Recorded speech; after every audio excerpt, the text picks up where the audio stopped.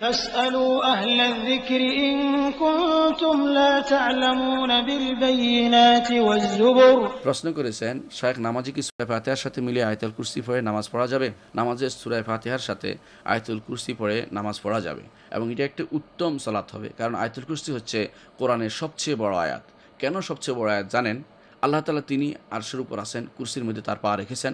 এভাবে তিনি থাকার কারণে তার কথা স্মরণ হবে রবুল আলমিন আজমত। তিনি যে মহান, কারণ আর সমস্ত পৃথিবী, সমস্ত আসমান এবং জমিন, সমস্ত কিছু, সমস্ত সৃষ্টি, সমস্ত সাত আসমান, সাত জমিন, সবগুলি কুরসির মধ্যে ষাটটি মুদ্রার মতো।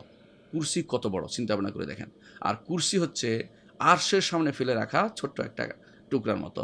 তাহলে এত বিরাট পৃথিবী যত বলেন, যত গ্রহ, নক্ষত্র, যত কিছু আজ মানুষ আবিষ্কার করেছে, এই সব কিছু ষাটটি দেড়হামের মতো হবে, সে ষাটটি দেড়হাম হবে কুরসির ভিতরে।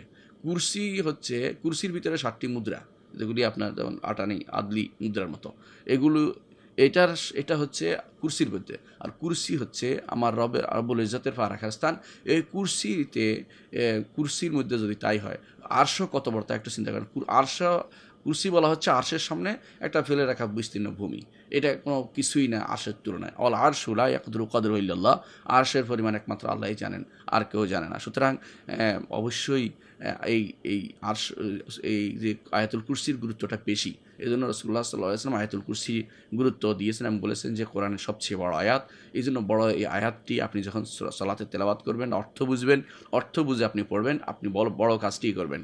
এই জন্য আপনি যদি কোনো শুধু বারবার এই আয়াতটি অর্থ বুঝিয়ে পড়েন, এটাও কিন্তু আপনার ইমানকে পরিবর্তন করবে, বাড়াবে এবং ইমানকে আপনার সঠিক রাখবে। ওদের মতো হবে না যারা আল্লাহকে সব জায়গায় মনে করে এবং আল্লাহকে এবং আল্লাহকে যেখানে সেখানে মনে করে মোতাজিলাদের মতো অথবা জাহামিয়াদের মতো কিন্তু যতটুকু আমরা জানি এই জিনিসটা যে আল্লাহ সব জায়গায় এটা কিন্তু কোনো আশায়ারা মাতুরিদের আকিদা নয়। এরা কিন্তু ধার করেছে ওদের থেকে এবং আমাদের দেশে যেটা মানুষ, সাধারণ মানুষে অনেকেই সেটা বলে থাকে এবং সাধারণ মানুষ, বেশিরভাগ সাধারণ মানুষ মনে করে আল্লাহ তালা আরশের উপর আছে।